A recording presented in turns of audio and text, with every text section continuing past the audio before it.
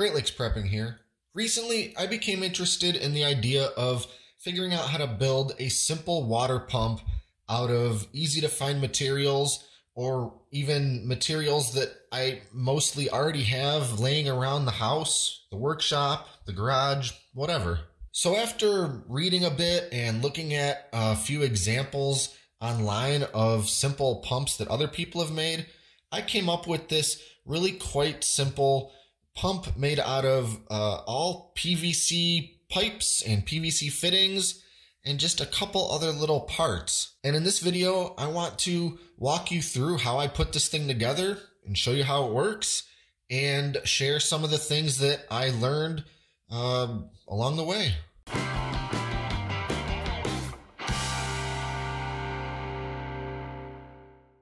Now, right off the bat, I'll mention that I haven't actually glued any of these pieces together because I wanted to be able to take it apart somewhat to show you how it all goes together. So the first thing I'll do is just kind of pull apart the main components.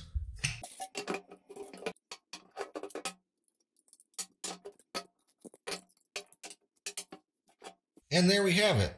Now, as you can see, this is almost entirely just put together with PVC pipe and PVC fittings. But I'll mention that I did have to sort of uh, fabricate a couple of parts of this in order to make it work. And those parts are this one and this one. Now we'll talk about this piece first. The main housing of the pump needs to allow water to fill it when you pull the pump out and then push the water back out when you push the plunger back in. But as you push it in, we need to redirect that water somewhere else. So it all starts with something that's essentially a very simple check valve. Now you can see we're using one and a half inch PVC pipe for the pump housing or the body. So what I decided to use to kind of build my little check valve here uh, is a plug that actually requires this coupler piece to fit on. So it goes like that. Now, when you pull the pump plunger out, this needs to allow water to go in. But since we want the water to come back out from this sort of spout here when we push the plunger in, we no longer can allow the water to move through this sort of opening. So what we've got here is a sort of rubber seal that can only allow water to move one direction. And this is actually the only rubber piece in the whole pump, the way that I've built this. And what we have here is, like I said, this uh, plug, and I've drilled a bunch of big sort of medium-sized holes in the bottom here. And I'll say my uh, drill bit kind of snagged and, and chewed it up a little bit here, but it doesn't matter. It's still serving its purpose.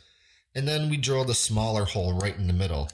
And through that is just a small bolt with a nut, and that holds that rubber gasket in place. So when you pull the plunger out and water needs to rush in, the force of the water and the suction motion uh, push this rubber seal out of the way and allow the water to come in. But when we push the other way on the plunger, we're pushing water against this. And as you can see, that seal can't move in the other direction.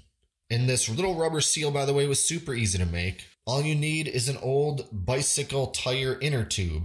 And I'll be honest, that's actually the only thing that I had to buy for this entire build. I've got a giant uh, sort of bin full of old PVC parts and lots of scrap PVC pipe laying around. And I actually kind of let the parts that I had dictate how I built this thing. But I don't have a bicycle and I don't have any old inner tubes laying around.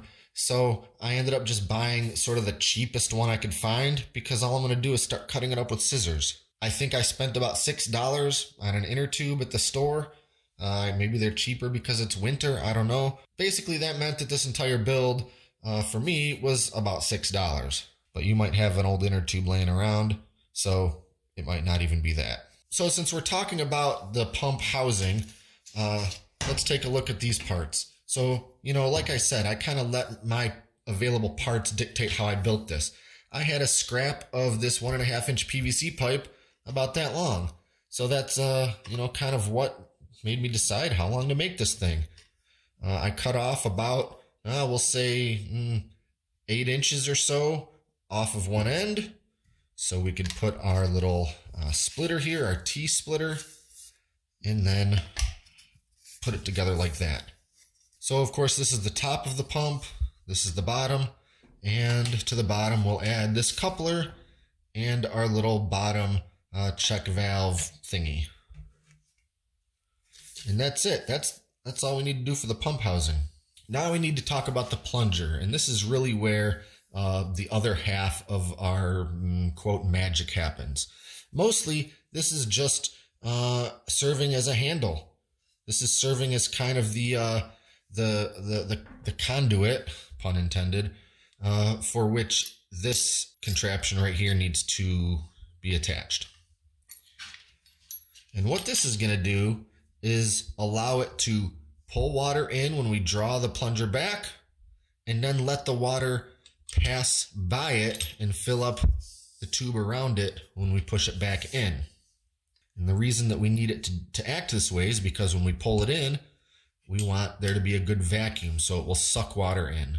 But when we push this back out, we need that water to be able to come through the end of this and fill around it. So as we push, the water displaces this way and comes out of our spout. If we didn't do that, we would just be trying to push water back down into the bottom, which of course it can't really go anywhere because of that rubber gasket check valve. So I actually got the idea for how to put this component together from another YouTuber.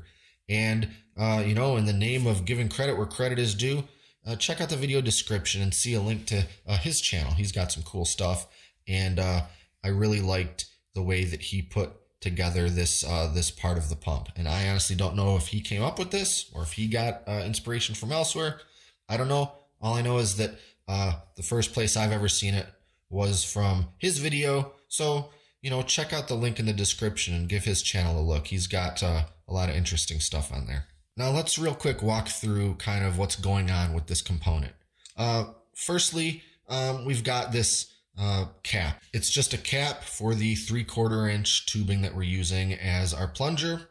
And its only uh, purpose is to hold uh, this component onto the plunger handle.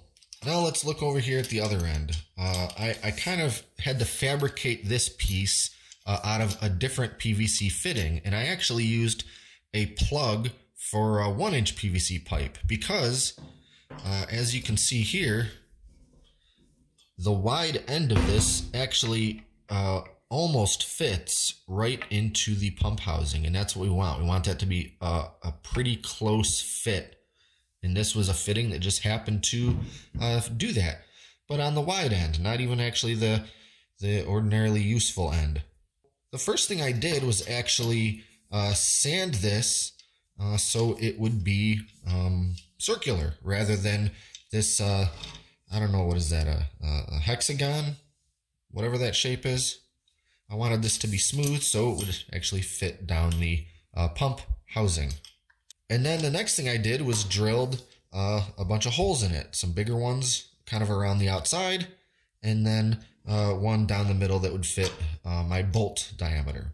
I didn't need to use a lag bolt. In fact, that's actually kind of a clunky bolt to use for this, but it's what I had. So that's what I used and it's working fine. But you could use a more regular uh, bolt for this if that's what you had laying around. But it's important that it's threaded all the way from top to bottom. Obviously, you also don't need to go as long. But again, that's just what I had and it's not hurting anything by being this long. So after sanding this fitting to be round and drilling these holes around the outside and the one in the middle, uh, the next thing I did was use a hacksaw and just cut off uh, the tube part of this because actually I don't need it and it's just kind of getting in the way. All I really needed was this uh, flat but sort of rigid, sturdy piece of plastic here. So as you can see here, using an ordinary nut, I attached uh, this plastic disc to the lag bolt all the way up by the head. And then I added a, another nut here to act as a spacer. And over top of that, I've got a big washer. And this washer is something you may end up needing to buy because you need a particular size. You need a washer that's uh, as big around as the whole sort of circumference of the plastic disc, but it also has to have a hole in the middle that's big enough to set right over top uh, of the of the nut. And the reason for that is this piece needs to be able to move. We want this thing to uh, float, and I'll explain why in just a moment. Uh, next, we've got another washer that's just a little bit narrower, and it does not have the great big hole in the middle because it just is going to be uh, fixed with, of course, a third nut. And then just to have a little space for me to work with, it wasn't really necessary, but I added uh, a fourth nut on top of that. Again, just a spacer. And then uh, with a hole drilled into my end cap piece here, one more final nut uh, down in here to hold the whole thing in place. Now let me explain why this floating piece is so important. Uh, much like how we needed this check valve to allow water to only go one way, uh, we need something that serves a similar purpose. Now, if you can imagine, when pulling the plunger out, we're drawing water into the housing of the pump. And with that sort of suction, this larger washer is going to be sort of pulled downward such that it's completely blocking all of these holes that I drilled. And that's where our vacuum and our suction is coming from. If this wasn't here and these holes were just exposed, we wouldn't be getting a good vacuum because all the air would just blast right through uh, these holes. But with this washer in place, it creates a seal or at least a good enough seal that allows for that vacuum. Then when we want to push the water such that it comes out of our spout, uh, we can't have those holes blocked because now we need to allow that water uh, to get from beneath the plunger to above the plunger and it has to go somewhere. Some of it'll come, you know, leak from around the uh, the the plate here. This isn't a high precision, uh, you know, contraption here, but uh, not enough. And again, you're basically just going to be trying to push water back out this direction. And we don't want that. As we push the plunger down, the water is going to push through all these little holes and come around this narrower tube and again displace and come out of our spout. So I saw a lot of different designs for this part of the pump. And, you know, some of them were a lot more elaborate. Uh, some were much simpler, and I tried them and they did not work. They just absolutely did not work. So I gave this one a shot, thinking, uh, you know, it seemed a little too simple. And, and once I put it all together and, and realized just quite how it worked, I realized that it's sort of ingenious the way it's working here. So I'm glad I I'm glad I gave this one a try and I'm really happy with how it came out. So now that I've kind of explained the functions of these pieces, uh, obviously this plunger just goes down into the housing. And then because we don't want to just try uh, hanging on to this little piece of the uh, three quarter inch tubing, and we'll make ourselves a little handle out of a out of a T-fitting and I guess that would be fine all on its own, but I had these couple little scraps of the three quarter inch tubing, so we'll just put those in there. And now we've got a decent little handle to work with. So I'll do a little demonstration with this uh, five gallon bucket full of water that's sitting in my uh, unnecessarily disgusting laundry tub. As we pull this in, we might need to give it a couple of pumps just to kind of prime it. As we pull that plunger out, the housing is filling with water. And as we push the plunger back down, it's displacing and coming out of the spout on the side.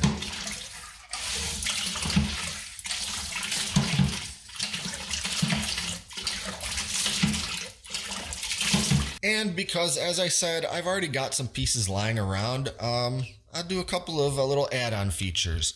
Basically, I want to narrow up this spout a little bit.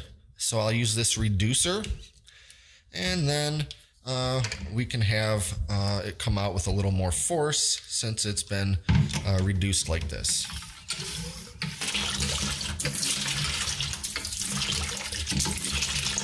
Uh, but then let, I can take it a step further and I've got these little fittings that you can attach to a garden hose. So if I was to use this little coupler and then of course the hose fitting, I could attach uh, a garden hose to this. So if I need to move water from here to somewhere several feet away and not just from uh, here to another bucket, now I can do that with with the garden hose fitting. And let's just see if I can do this with only two hands and, and keep the ends of this hose still in the video frame.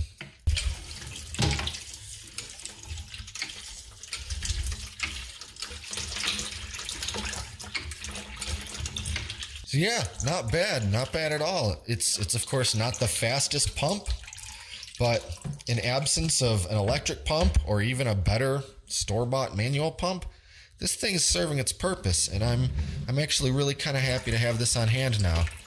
And to give you a quick idea of uh, you know how well this bottom uh, check valve is working, right now the housing is completely filled with water. And if I was to remove the plunger and tipped this whole thing upside down, you can see that whole thing was filled up with water that was just ready to waiting to get pumped back out. So yeah, there's a lot of different designs out there for simple pumps made from PVC pieces, and this is the way that I've done it. And I gotta say, I'm really quite happy with it. Uh, of course, I could make this at a much larger scale uh, to move more water more quickly, uh, but this certainly proves the concept. And uh, after I let everything dry out, and now that the video has been shot, I'll probably go ahead and use some PVC cement to put together some of these pieces.